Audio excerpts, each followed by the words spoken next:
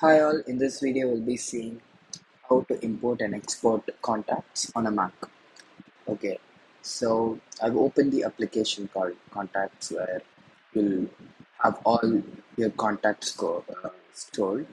So the most, uh, you know, the simple way to import contacts is using numbers.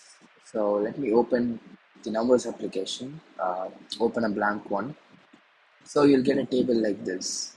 So you can simply hold the shift key and select how many ever contacts you want. Say, uh, I'll choose the first uh, 14 contacts and you simply have to drag and drop it in the table here and everything will be filled, right?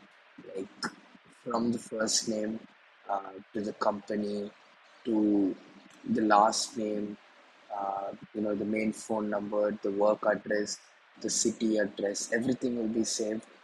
And uh, you can literally have a table of your contacts.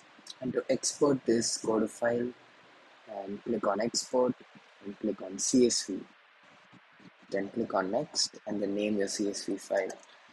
Say contacts and save it in the destination you want to and click on export and it's exported.